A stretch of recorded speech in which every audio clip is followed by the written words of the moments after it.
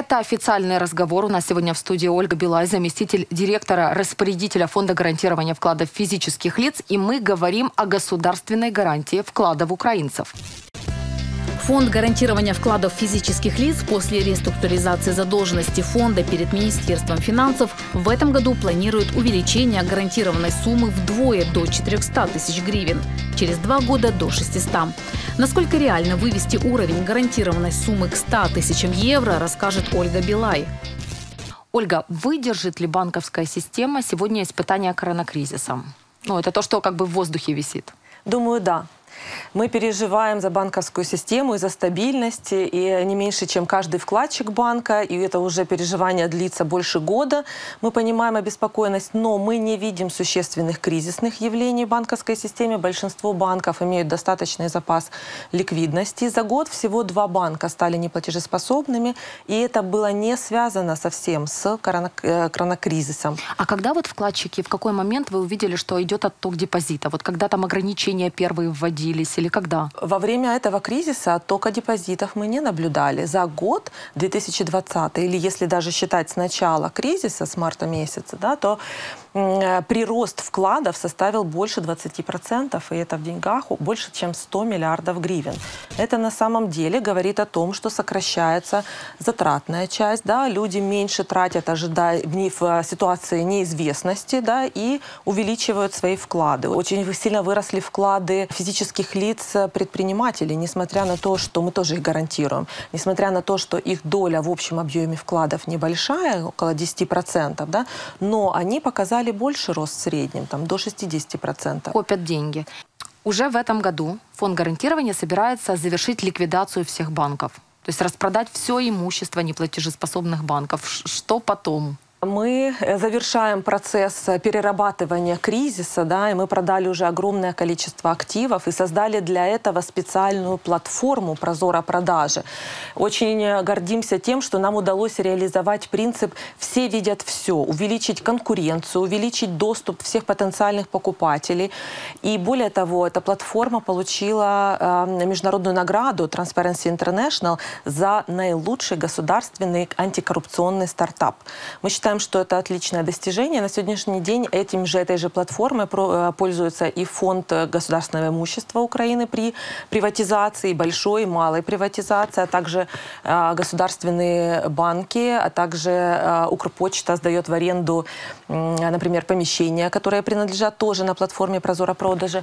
В общем-то, мы сейчас завершаем продажи. У нас осталось не более 10% активов. Угу. Но это не значит, что мы останавливаемся на достигнутом там мы будем трансформироваться, и мы внедрили э, систему раннего реагирования как раз для того, чтобы в будущем никогда не повторилась ситуация такого масштабного То есть кризиса. вы как банковский надзор будете работать в том числе? Мы работаем параллельно. Мы дружим с Национальным банком, у них основная функция. У нас немножечко она направлена в другую сферу. Мы больше смотрим на достаточный объем активов для того, чтобы компенсировать угу. затраты по э, выплате вкладов, которые гарантируются государством.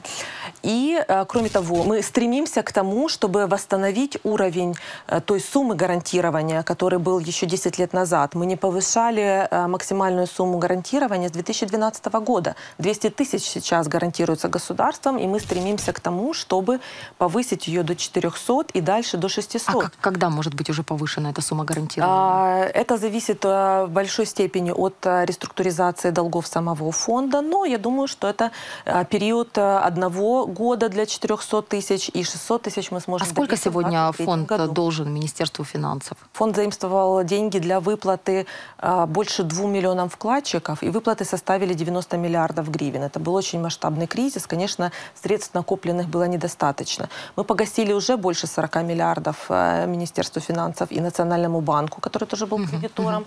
И остаток долга тоже составляет около 45 миллионов, миллиардов гривен. Это без а, процентов. Поэтому во многом повышение суммы гарантирования зависит именно от успешности реструктуризации обязательств фонда. Кроме того, а, мы вместе с Национальным банком ведем работу по расширению системы гарантирования. Угу. В этом плане мы двигаемся, в этом направлении мы двигаемся а, в соответствии с европейскими директивами, с европейскими практиками.